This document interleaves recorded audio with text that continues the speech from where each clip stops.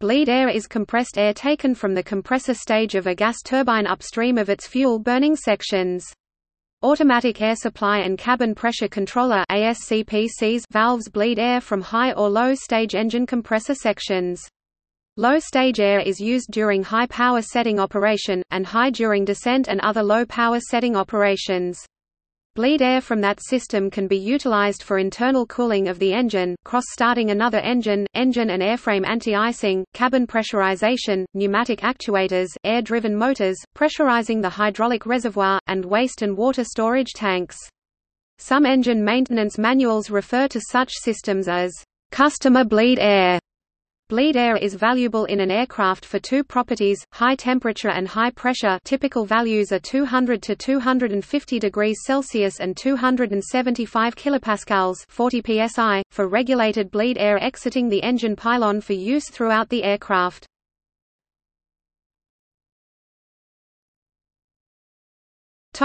Uses In civil aircraft, bleed air's primary use is to provide pressure for the aircraft cabin by supplying air to the environmental control system. Additionally, bleed air is used to keep critical parts of the plane such as the wing leading edges ice-free. Bleed air is used on many aircraft systems because it is easily available, reliable, and a potent source of power. For example, bleed air from an airplane engine is used to start the remaining engines. Lavatory water storage tanks are pressurized by bleed air that is fed through a pressure regulator. When used for cabin pressurization, the bleed air from the engine must first be cooled as it exits the compressor stage at temperatures as high as 250 degrees Celsius by passing it through an air-to-air -air heat exchanger cooled by cold outside air. It is then fed to an air cycle machine unit that regulates the temperature and flow of air into the cabin, keeping the environment comfortable. Bleed air is also used to heat the engine intakes. This prevents ice from forming, accumulating, breaking loose, and being ingested by the engine, possibly damaging it. On aircraft powered by jet engines, a similar system is used for wing anti-icing by the hot wing method. In icing conditions, water droplets condensing on a wing's leading edge can freeze. If that happens, the ice buildup adds weight and changes the shape of the wing, causing a degradation in performance, and possibly a critical loss of control or lift. To prevent this, hot bleed air is pumped through the inside of the wing's leading edge, heating it to a temperature above freezing, which prevents the formation of ice. The air then exits through small holes in the wing edge. On propeller-driven aircraft, it is common to use bleed air to inflate a rubber boot on the leading edge, breaking the ice loose after it has already formed. Bleed air from the high-pressure compressor of the engine is used to supply reaction control valves as used for part of the flight control system in the Harrier jump jet family of military aircraft.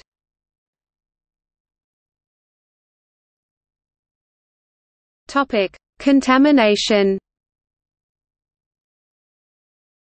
On rare occasions, bleed air used for air conditioning, and pressurization can be contaminated by chemicals such as oil or hydraulic fluid. This is known as a fume event. While those chemicals can be irritating, such rare events have not been established to cause long-term harm. Certain neurological and respiratory ill health effects have been linked anecdotally to exposure to bleed air that has been alleged to have been contaminated with toxic levels on commercial and military aircraft. This alleged long-term illness is referred to as aerotoxic syndrome by agenda groups, but it is not a medically recognized syndrome. One alleged potential contaminant is tricresyl phosphate. Many lobbying groups have been set up to advocate for research into this alleged hazard. The groups include the Aviation Organophosphate Information Site AOPIS 2001, the Global Cabin Air Quality Executive 2006, and the UK-based Aerotoxic Association 2007. Cabin environment research is one of many functions of the ASA group, but their researchers have not yet established any causal relationship, although a study made for the EU in 2014 confirmed that contamination of cabin air could be a problem. That study also stated, a lot of reported fume events caused comfort limitations for the occupants but posed no danger. A verification of cabin air contamination with toxic substances e.g. TCP, TOCP was not possible with the fume events the BFU investigated. While no scientific evidence to date has found that airliner cabin air has been contaminated to toxic levels exceeding known safe levels, in ppm, of any dangerous chemical, a court in Australia in March 2010, found in favour of a former airline flight attendant who claimed she suffered chronic respiratory problems after being exposed to oil fumes on a trip in March 1992.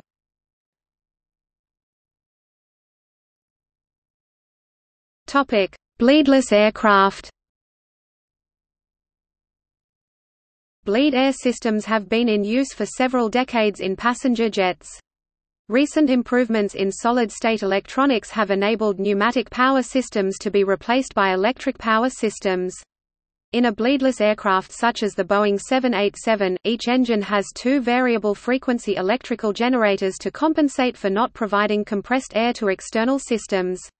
Eliminating bleed air and replacing it with extra electric generation is believed to provide a net improvement in engine efficiency, lower weight, and ease of maintenance.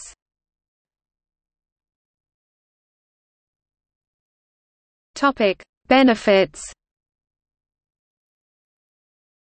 A bleedless aircraft achieves fuel efficiency by eliminating the process of compressing and decompressing air, and by reducing the aircraft's mass due to the removal of ducts, valves, heat exchangers, and other heavy equipment. The APU auxiliary power unit does not need to supply bleed air when the main engines are not operating. Aerodynamics are improved due to the lack of bleed air vent holes on the wings. By driving cabin air supply compressors at the minimum required speed, no energy-wasting modulating valves are required.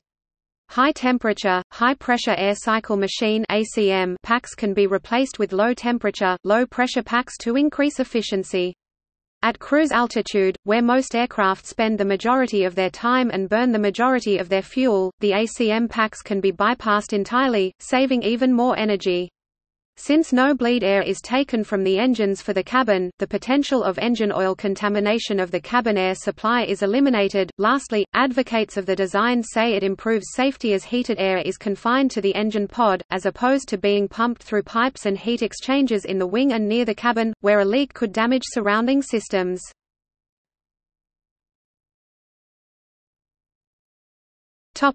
Trade-offs In the 787, cabin air enters from under the fuselage and is compressed as required. De-icing is achieved by electro-thermal heating elements embedded in the wing's leading edge. Hydraulic pumps for flaps, slats, speed brakes and other control surfaces are also powered electrically. Eliminating bleed air increases the electric load, as cabin pressurization, anti-ice, de-ice systems, and other functions need to be powered electrically instead. This necessitates an increased size of electrical generators as well as higher power power distribution boards and more sophisticated backup and control systems.